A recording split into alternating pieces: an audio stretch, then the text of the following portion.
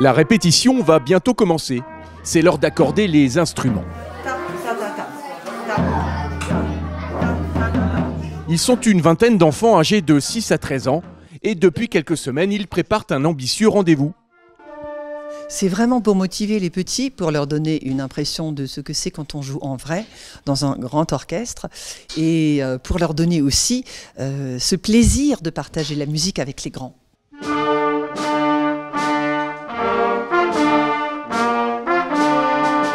Vous avez bien reconnu la musique de Star Wars, une partition qu'ils vont jouer avec l'orchestre d'harmonie de Suffolk-Weiersheim à l'occasion du concert des 100 ans.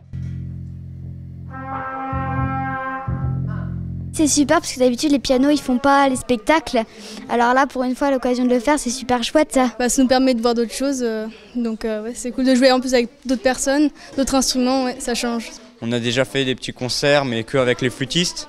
Là on va jouer avec des trombones, euh, des trombones, des, des trompettes, des clarinettes donc oui c'est très intéressant.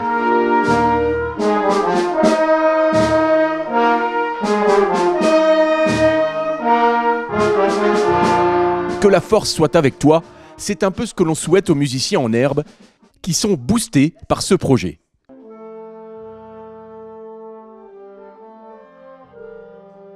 Ça les motive beaucoup et pour nous c'est vraiment très intéressant de les voir à quel point ils progressent parce qu'ils progressent beaucoup plus vite. C'est aussi euh, très stressant et bah, mais ça nous motive quand même à beaucoup plus travailler vu qu'on va jouer avec tout le monde et du coup il faut qu'on soit parfait. J'écoute beaucoup le, le morceau version orchestre la version intégrale pour m'entraîner avec. J'ai mis vraiment beaucoup de temps à, bah, savoir cette partition en entier.